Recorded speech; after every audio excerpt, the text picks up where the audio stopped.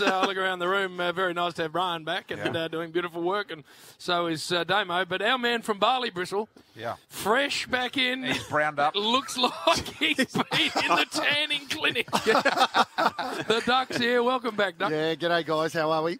Oh, now uh, we need. We'll get to last night and talk about North, I, I guess, because with Roo coming in later, we can cover off the Saints for uh, all of our uh, hundreds of thousands of Saints fans who would have been happy.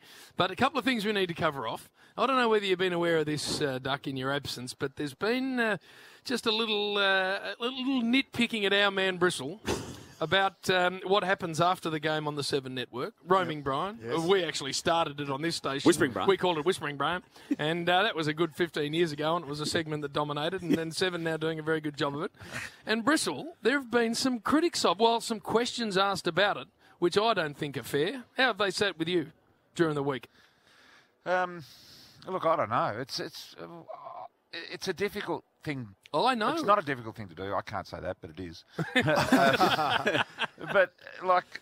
It, the hardest thing about walking around the rooms is bumping into people you don't know. Yep. And while I sit up in the commentary box uh, three games every weekend and have for the last 20 years, I think I know the players from a perspective Yep. of a commentary box. But when you get up close to them, uh, and all of a sudden you can't see the number and you can't see their physical sort of uh, approach of the person. It's a lot more difficult. And then last night, like, run into a couple of gentlemen in suits looking rather official. St Kilda Yep. didn't realise one of them the president, the lowest profile president ever in the history of football. Yep. Uh, you know, it, it, you bump it into the. That's the hard thing about it, not quite Bristle, knowing who they are. I totally agree with you because I'll put my hand high and say that after 10 years of being the president of one club, I still didn't know everyone in the rooms. And at, one- at one stage, uh, beautiful Carly, who's done the Yep. the uh, apparel down there, you know, the players' gear for years, a magnificent lady, needed a bit of, of a hand taking stuff out and putting it on the truck. And I said, well, give me one of those bags. And I said, you've already got a bloke over there helping you. She said, no, that's Kane Turner. He was the emergency I didn't even know it was KT had come in late for his first game. So you're not expected to know everyone. I think that's a nonsense. And secondly, for me, Damo, this is what I am fearful of in our caper, and that is television. I was saying this to you before. Television where you're watching and you don't know what's going to happen next, for me, is liquid gold. Yep. And there's virtually none of it left in 2017 because we're so vanilla and we're so pre-packaged and everyone's so terrified of anyone saying the wrong thing or whatever that you never ever watch television anymore where you genuinely don't know what's going to happen next. It's why Sam Newman for 25 years has been the best act in television because you watch him still to this day and have no idea what the hell he's going to do next. And for me, that's br- oh, excuse me, brilliant. And see, what we do on Triple M, we normally just spend an hour and a half, two hours of hanging you know what on each other. I want to be genuine here, BT, when I say. As, No, you're not, No, did I text you last night and say the same thing? I, I think what Jim's saying, the awkwardness potentially of what you do in that space, which runs for eight or nine minutes, doesn't it, Duck? Where you just let him roam.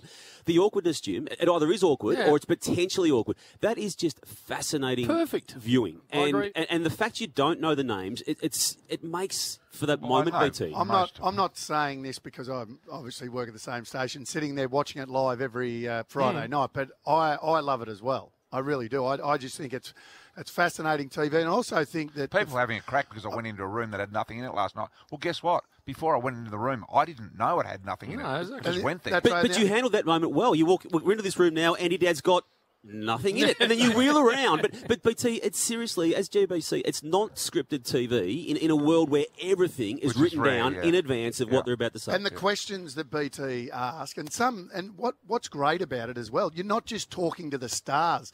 The fans out there, even though BT might know them at the start, he, he knows them certainly after he asks them a question, and the and the people out there get to meet these younger kids that don't we don't normally hear Interview, speak. yeah. And the questions that he he's asking are easy questions, just like you know, how'd you pull up, mm. how'd you find the game, very simple questions, and we Unlikely get to stump them. That's right, and we Yep. get to hear those kids speak. I think it's great. Except that you probably shouldn't have gone back on when you got back up to the main booth because you hadn't done your fly up Oh, when you went back on. I heard about this. Hang on. You hadn't BT, and Uh, we're, we're being inundated with tweets today Hamish reminding us of this. Said, come across here quickly. I was getting dressed. It's Oh, not no. my fault. Was I- your fly down? my plan was to not go back on TV. Bristol. My fly was down because I was half dressed. I'd only just got it done up, and then I had to hold my hand over Did, the, did you the have cods. the, did you have the tadge out or not? This is what I'm hearing, having not seen it on live television. I had to box up Oh. because I had to. Uh, I had to box up, and uh, that's why I did. If anyone's uh, wondering,